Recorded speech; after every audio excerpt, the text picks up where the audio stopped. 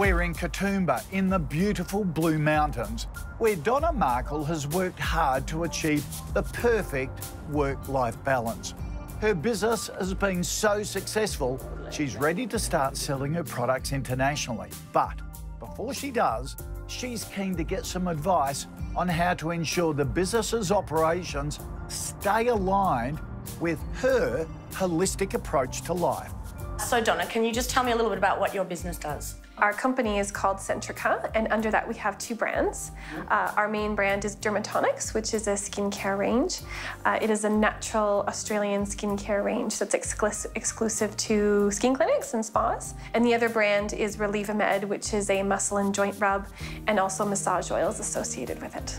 We've been in business for just over three years. Um, we launched our first products in early 2016, um, and then that was our Dermatonics range. And then Relieva Med was launched in 2017.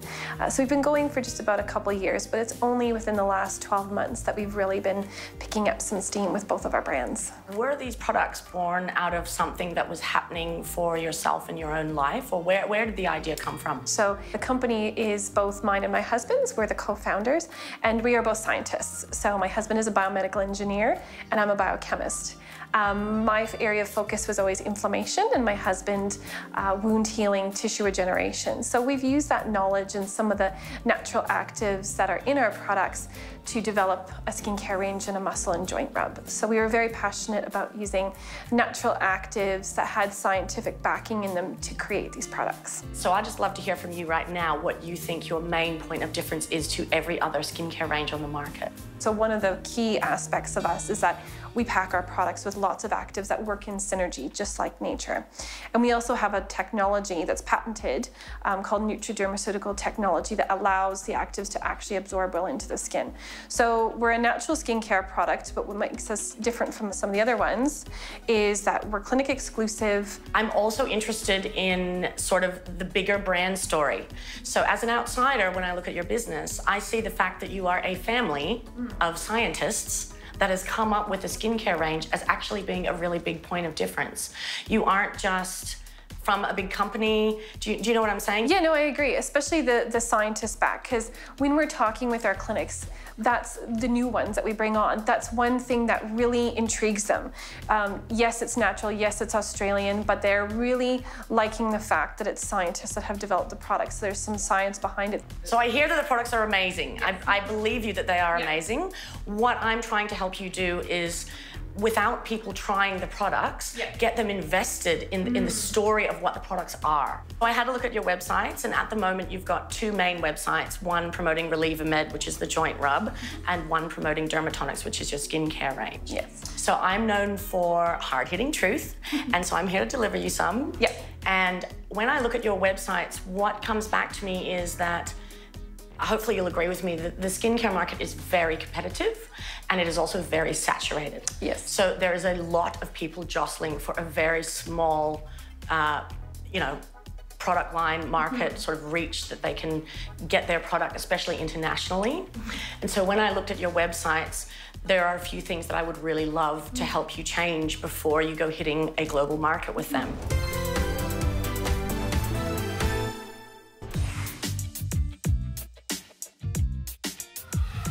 Donna Markle has spent the last few years creating the perfect work-life balance.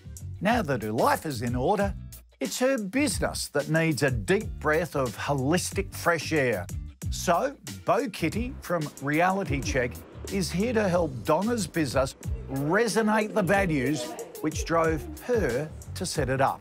So what does holistic business development actually mean? Basically, I approach business coaching from an angle that when you start your own business, you are crafting a business that fits in with your life and not the opposite way around. So people who have come from a nine to five employee mindset, that becomes their reality and their life fits in around it.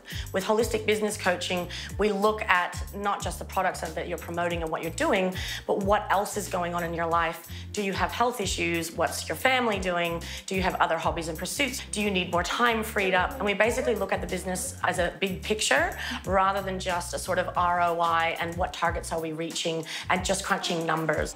Even in the last 10 years, the nature of the way we do business has changed a lot. 10 years ago, you could almost create a formulaic business plan, follow it, and have some moderate success. Now, I think with uh, technology and the information age and the inquisitive nature of consumers, people are really doing their own research. Mm-hmm. And as a result, businesses have to be a lot more dynamic. They have to evolve very fast and they have to answer market needs. And so that's something that we want to look at, especially if you're going to hit a global market. So, what does our business look like to you from a holistic point of view? I can tell straight from the start that you have worked really hard on this product.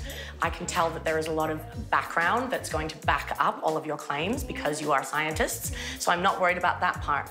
But I do feel like there's a bit of personality missing. I feel like your websites are a little bit dry a little bit corporate focused. Now, you are a business to business. You're selling two clinics, so we definitely want to keep that stylistic, very clean look that people go for with mm. skincare ranges as well. But I would love to see a bit more of, of you. So I would love to see, instead of stock photos on your website, I'd love to see photos of your surrounds, the Blue Mountains, maybe some of the ingredients. I'd actually really love to see you and your husband in the lab coats as well, but also not just being the scientists, but being the family that you are running a family business. If, you know, there's absolutely no sharing of your personal life, you can still share your surrounds. You can share things about the products that are a bit less science and a bit more personable. Um, but also, you could entertain the idea of some brand ambassadors. Mm. So that's what I think would really help your product moving into an international market is to find an Australian brand ambassador who has the look and the feel that you want your brand to emulate overseas.